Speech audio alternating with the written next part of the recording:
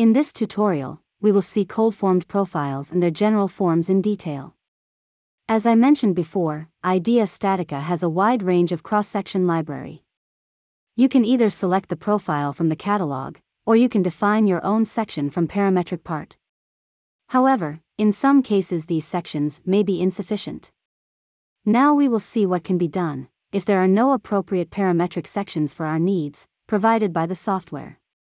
In such cases we have an additional tool called ColdForm General Shape here in the last image. When I select it, a new window will open that I can see a default shape. We can change the name, the thickness, and the inner radius of the new cross-section. Because the thickness and the inner radius is constant in this type of element, these are independent from the cross-section. Therefore I will specify these parameters for the whole cross-section for once, and then all I have left to do is decide the topology. To do so, click here next to Edit, and a new centerline window opens. Here I have two ways to define the cross-sections. The first way is, I can define the cross-section directly by using two dimensions, as you can see here. The center of the YZ coordinate system is here, and all the points are defined with respect to this center. Simply, I can add new points by using the plus icon, and I can change the coordinates. For example if I write point 0.3 as 100 and 200, I will get an L-shaped profile. And if I continue with the fourth point, the cross-section will change as seen. Even if I made a mistake, I can easily delete the point I want. Just right-click on the point and select Delete. Let's assume that we want to introduce an intermediate point because we forgot it. Similarly, I select one of the points that I want, I right-click and select Insert ahead of or Insert behind according to my need. For instance, let's suppose we want to add a new point between 1 and 2. I select insert ahead of, then I specify my coordinates for example 50 and 70, and that is it. As you understand, any geometry can be modeled by using this centerline tool. On the other hand, sometimes modeling a complex cross-section can be hard to do, or time-consuming. In such cases, we have a second option to generate these geometries by importing the DXF file. To load the DXF file, use this button here, click on it, select the related DXF file and select Open. When I load a new file, this window opens.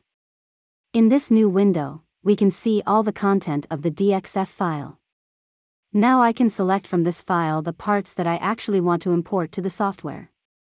First I have to choose the plane. As you see, now I am viewing XY plane and that is okay for me. But the section also be created in YZ or XZ planes. If it was so, we could choose YZ or XZ from here. Second fundamental thing is units. In this case, I am going to select millimeters, however I sometimes have difficulty remembering which unit I worked for. Or I cannot measure it. We can see the drawing boundaries and units at the upper part of this new window. We can easily understand that how big these cross-sections are. So what happens if we change the unit?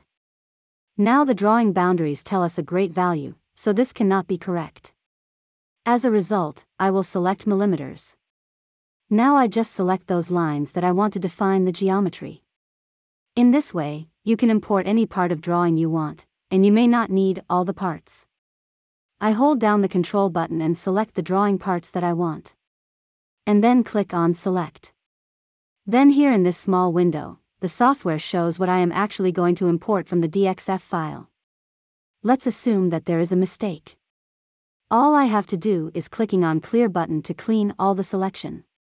I can click on for example, this line and then click on consecutive to choose all the lines touching my selection, as a faster selection method.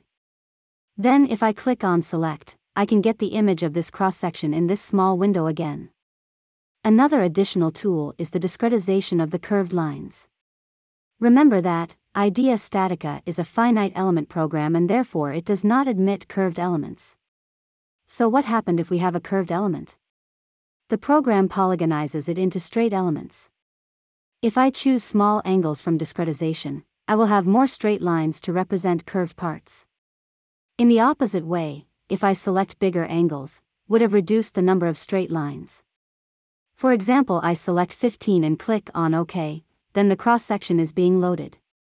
If we have a quick look at this section, there are too many points created. Especially if I zoom in the curved parts of the section, I can see that there are many points because of the discretization. Actually we do not need all those points. Let's open the drawing again and look at the second drawing in the DXF file. The corners are straight in the second drawing.